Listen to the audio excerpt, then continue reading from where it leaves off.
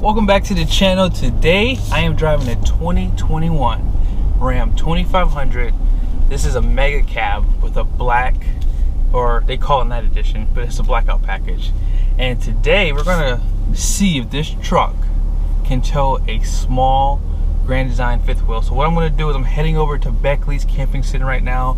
They have a grand design 295 rl we're going to just see the numbers on the door of this truck we're gonna compare with the trailer. We're gonna put it in the spreadsheet and we're gonna see if this truck can actually tow a fifth wheel.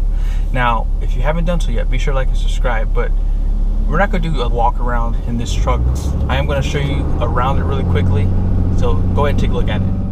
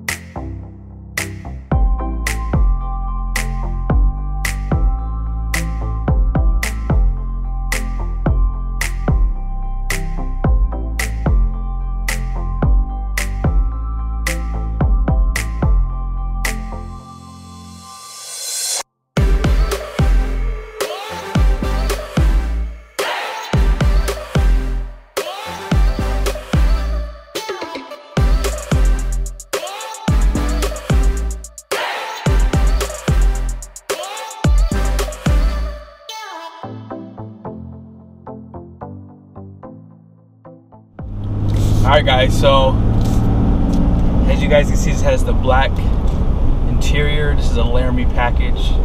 So you can get the night edition package in the bighorn and the laramie. And they actually added a night package for the limited also. So you really have a lot of options here with ram. And i think that they, they're doing it the best but this interior is pretty much decked out. It has a 12 inch display. It has the rear view camera that you've seen on the GM trucks. They actually adopted that for Ram, so I'm glad they did that. And this truck has a sunroof. I mean, it has everything. I mean, this is a really nice truck. And the only thing it doesn't have that I probably would like to see is just the air suspension. On the three-quarter ton of trucks, this truck rides the best with air. So just keep that in mind if you are planning on building this truck. And man, even if you know you're not too concerned about the ride, this truck rides the best, I think, even unloaded with that five link coiled suspension on this truck too. But if you're moving from a half ton truck, I think the air suspension will make this truck better to live with day to day. I'm just gonna lay into it nicely on this launch. Ooh, there's no lag at all. Man, guys, she whiz. The 68RFE is the best way to go if you're not really towing a trailer. I mean, or if you are towing, but you're not towing a lot, which I think majority of the guys and girls out there with these trucks don't tow a lot. That 68RFE puts that power down a lot faster. However, when the Aisin does get going, I've said it a million times, it is a rocket ship too, but it just takes a little bit more time to to get off the line compared to the 68RFE.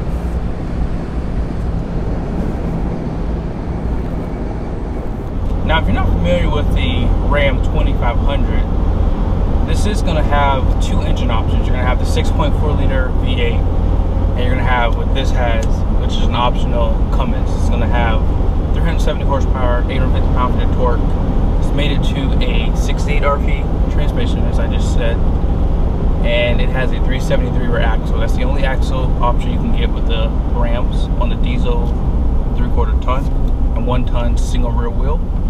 And as far as your capacities go for your tanks, it does have a 5.7 gallon DEF tank. The diesel tank is about 31 gallons. And this takes, I believe, 13, oh, excuse me, 12 quarts of oil. I'm trying to remember these numbers for you guys. But we just pulled into Beckley's Camping Center. I gotta go down here and see if this trailer is open. If not, I have to come back up here and get a key for you guys. So real quickly. I'm going to show you around the trailer really quickly. I'll show you the numbers and then we'll jump over to the spreadsheet. Check out who it is. What's up? How's up, it going, bro? man? Good, man. Good to Good. see you. It's beautiful out today, yeah? Hey, yeah, hey guys, if you have not done so yet, subscribe to this Yes, guy's sir. channel. We're gonna be doing some more collaborations together. He always hooks me up with these videos. He sells me every one of my trailers. Thank you, bro. Thanks, bro. Have a good day. You too. Thanks, Justin. All right, guys. So Justin just opened up the RV for me. I'm just gonna show you guys really quickly. I wish I had the wifey here so you guys could check this thing out. But man, this is really nice. This is this is big. I, I was not expecting this to be this big. Actually, maybe I opened up the wrong RV, but we're just gonna roll with it today. So 295 RL. I was actually looking for a little bit smaller one, but hey, this thing is really, really massive. Look at all the countertop space. Look at the backsplashes in here. They have lights, USBs. I mean, there's so much countertop space. This sink doesn't have a divider. It's a huge plus for my wife. And again, even on the stove, you have countertop space. They have a plug, residential size. Uh, what's this called? Microwave. And this is just a. eh, This is a little small, but hey, if you're not full time, I mean, this should be perfect. I mean, this probably would be perfect for two people in terms of size. But a lot of storage. They give you a small pantry, and it does have lights if you need that. You can put a pack of water down there. And yeah, fireplace just below. I'm sure this pulls out into a bed. Looks like these seats are heated and powered. Oh wow, I like that they give you a bench on this side. And then they give you the chairs also on this side. Really cool setup. I would like to see an in command system. I like the electronics, guys. I'll be honest, but hey, this works too. Check out the materials on the walls. Walking up, and to the left is your bathroom pocket door. Porcelain toilet, and then they have your storage just back here. They give you a sensor light inside the bathroom too. Shower's kind of small. A lot of countertop space. And medicine. I like that they give you this uh, sensor light, and they also give you a light on the switch too. Right here. Walking into the bedroom, they give you another pocket door. There's no slide back in this area, and that's probably a good thing. So when you're traveling, if you just want to come up here for the night and go to sleep, you have your bathroom, and boom, you have your your bedroom. Pretty spacious inside. I believe this is a queen size bed. Not bad, guys. Really, really, really nice. And like my wife always says, a pocket door makes life a lot easier. You know, so you're not always maneuvering around doors. And it gives you a magnet and some drawers. Wow, pretty deep. You put your television on the wall. Not ideal, but it works. And this is a pretty big closet. I don't see that you can put a washer and dryer hook up in here. And they do give you some storage just below the bed. So one thing I like to point out is my bed is over the slide. And if you put anything heavy, they put this cheap, it's like this basically. Like on the bottom of your, of this drawer is what the bottom of my uh, bed storage is. And if you put heavy stuff like this box, oh yeah, this box would, would, would damage it. This has a solid floor surface, and this is so much better, guys. So definitely keep that in mind when you're looking at your RVs. Lastly, they give you two USBs and a spot up top, probably for like your phones, maybe, and storage on that side too. Sorry, it's dark in there. And then they give you lights on each side, and then this additional storage on the side of the bed. Look how big this window too is on the side. The storage compartment is not huge, but it's going to be bigger than most of your travel trailers. They do give you power, lights. I would like to see sensor lights in here. And this is going to be for your battery disconnect. And I love that they give you a metal latch too. Yeah, it's metal. Aluminum steps. You have an awning close to the front and one out back on this slide. They do give you nitrogen fill in the tires and then you do have a CRE 3000 through MORryde for the suspension. So this is a really nice fifth wheel. You have a rack and pinion slide let's hop over to the other side. Actually, one thing I like to always test out too is can you slide between because where I have the trailer located right now is pretty much where the fifth wheel would be. This is going to be the back of your water heater, your suburban furnace, your 50 amp connection, and this is a rack and pinion slide too.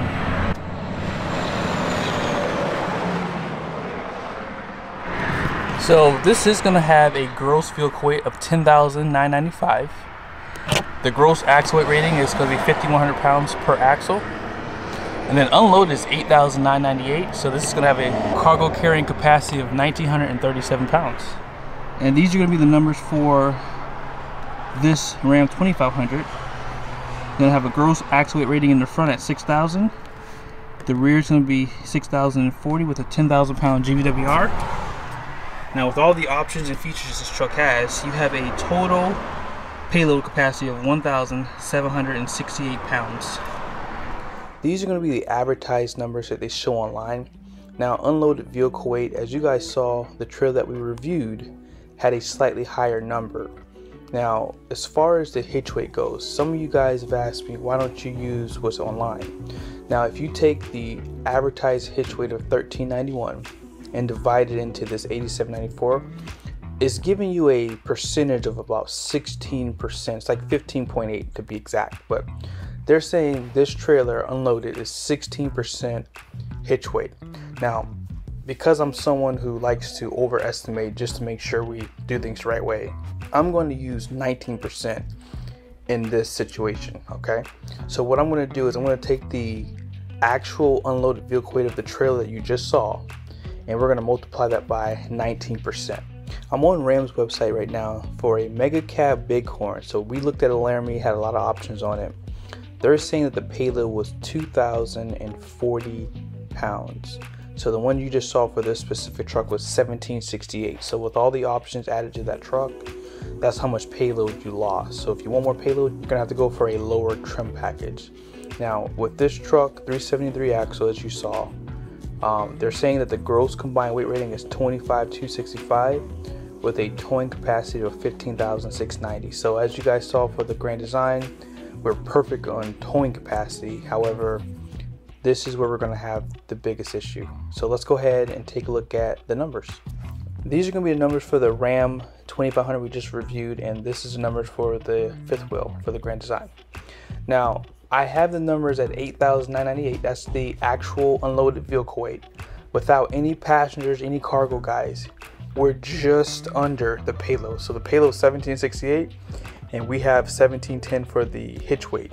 I got 1710 from the 8,998 pound unloaded vehicle weight. I multiplied it by 19% to get the 1710. Now obviously we have to add passengers. So passengers, figure it's a couple's trailer Husband's gonna be 200 pound, wife is 130, so that's gonna be 330 here. And figure a 200 pound hitch plus another 150 pounds for gear. That should be a safe estimate for that. Now we're at 622, so we're basically over on the payload now. Now keep in mind, nobody goes camping, you know, without some gear, right? So we have to add at least a thousand pounds to this. So let's go ahead and take this number we're going to multiply that by 19%. I know the manufacturer used a lower number, but we're just going to say worst case scenario. They're saying the hitch weight's about 16%. I like 19% better. I normally go with 20% just because that's about what I've noticed the hitch weight to be from other people's um, posts that they give me of their um, cat scales. So we'll just go 19% because this is a pretty low number from the manufacturer. So 1900 you're at 812 pounds over your payload. Here's my opinion. If this was me buying this trailer, I would recommend going with the gross fuel weight rating, multiplying that by 20% to get your hitch weight. Now, if I was looking to buy this trailer also, what truck would I buy? I would be on the lookout for a truck that has a payload of at least at least 3,300 pounds. And the reason why is because you want to have more truck than you need because even with 3,300 pounds, you only have 720 pounds available here. And let's just say this was a um, a bunkhouse. You have three kids, and let's just move this up to 700 pounds you know, already you're getting close to that number here. So you have to be careful on your gear. You have to be careful on the passengers that you carry with you. And you have to make sure you buy enough truck for your fifth wheel because if you think about it, this is a small fifth wheel. And even with this number, you're really close in terms of your payload capacity. But hey guys, thank you so much for watching this video. I hope it was helpful. Now, one thing I want to say is this. You have to do your own research. I believe that you should stay within the limits of your GVWR of your truck, and again, hey, at the end of the day, that truck that you just saw is more than capable of towing 14, 15,000 pounds, like I said. The only thing that limits it is that payload capacity. So just make sure before you buy a truck, before you buy a fifth wheel, make sure you have the right setup because I think that doing this Weight Watchers uh, series does kind of help bring awareness. So be sure to share this with people who may not know about these things or might be in a market to buy a fifth wheel or any type of trailer for that fact. So they make sure they buy enough truck. I mean, at the end of the day, the best truck to buy if you're looking to buy a fifth wheel is a dually. It's the best option on the market because typically you're gonna have 5,000 pounds or more payload. And there's really not a lot of trailers out there that you can't tow with a dually. So just keep that in mind. But um, be sure if you have any uh, suggestions. I wanted to start this series just called Weight Watchers Truck Edition.